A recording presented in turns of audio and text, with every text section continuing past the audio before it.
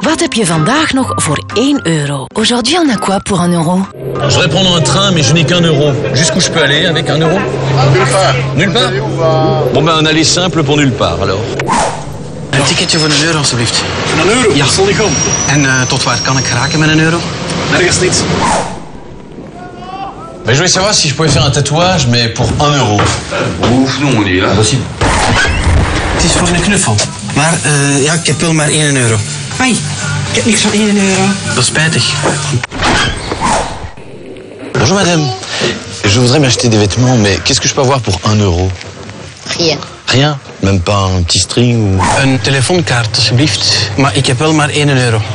Ja, maar dat doen. Een stuk van een telefoonkaart. Je voulais vous demander si je pouvais prendre une chambre pour un euro. Ça serait bien. Même une minute? Mais oui, mais... Pour rentrer dans la chambre et ressortir, non McDonald's, 1 euro, c'est déjà un resto. Nergens zoveel voor 1 euro als bij McDonald's.